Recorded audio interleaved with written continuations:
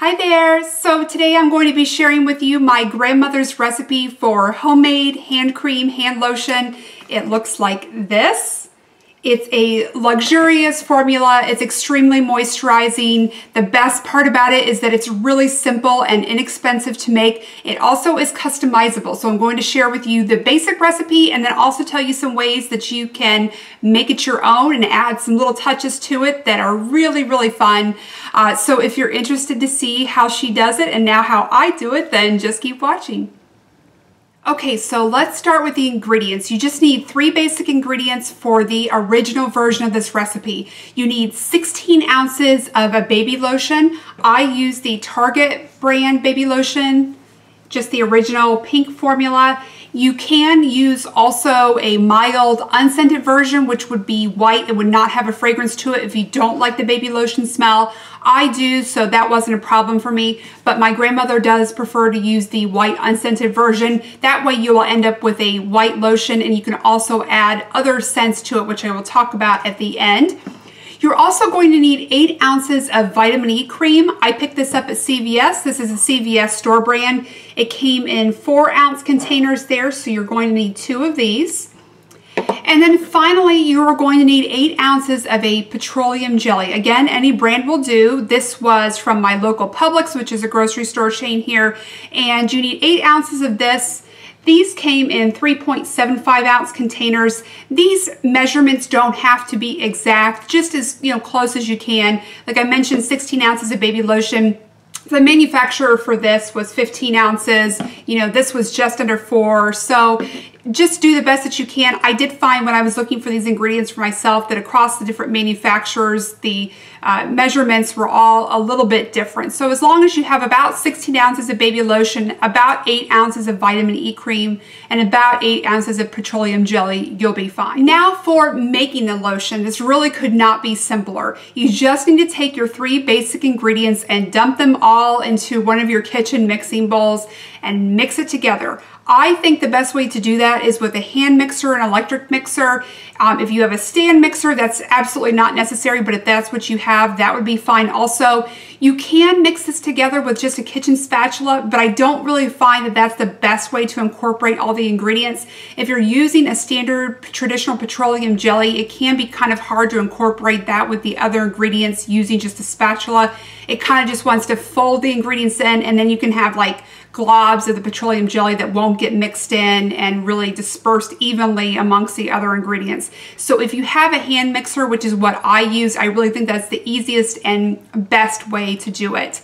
Um, you're not looking for uh, any particular consistency. You just want everything nicely mixed together. It kind of looks like a nice frosting when you get done. And of course mine was pink because I used the original baby lotion but you know yours may be white you know if you're just using the milder unscented version of baby lotion.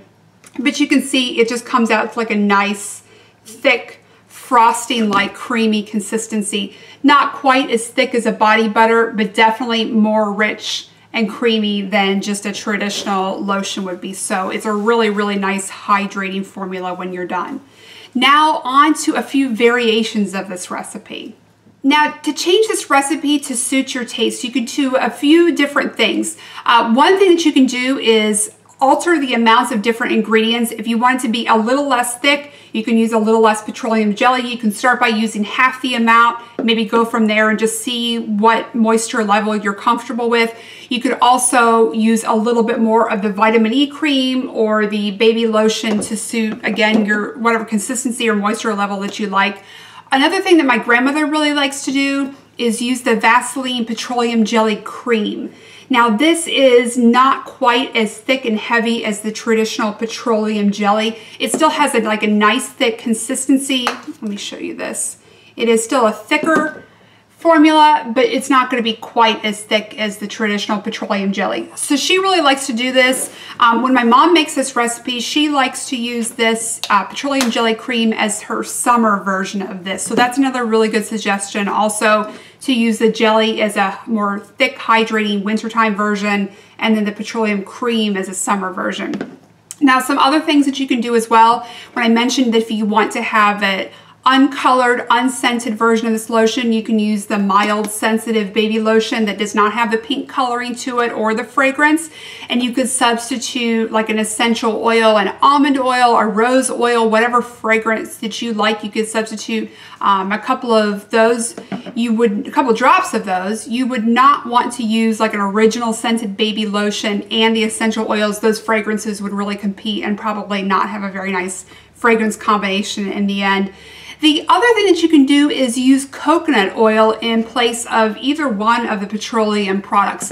You know, some people these days are not comfortable with petroleum-based products, so you could certainly use a coconut oil in place. Again, I would probably start with about four ounces of the coconut oil and maybe go up from there as needed.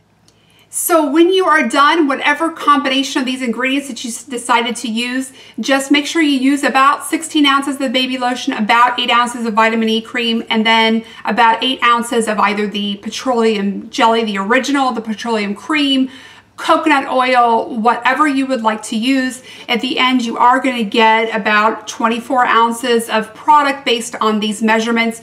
You can make half this recipe if you don't want that much. You can double it, whatever you would like to do. And this also makes a really nice gift to give to friends, to give to a hostess of a party, something like that. Um, mine I'm using for myself for now, so I'm just putting it in a Ziploc container that I had on hand but you could use glass jars, maybe a really cute small mason jar. You could get something from the craft store, put a bow on it. There are so many different ways you could present this as a gift and share it with your friends. Um, and because it is so easy and inexpensive to make, it makes a really affordable gift to share with others. And it looks more uh, complicated than it is. So I think it's a really cute gift to share with people and it's homemade. And I think people always like something that's sort of homemade, whether it's baked goods or lotion or what have you. So Anyway, that is it. I hope you enjoyed my grandmother's body cream recipe. Again, all of these ingredients and the how-tos of it, even though that's easy part of it, I will list all this information on my blog so you can go there for reference. So I thank you so much for watching and I hope to see you very soon. Bye-bye.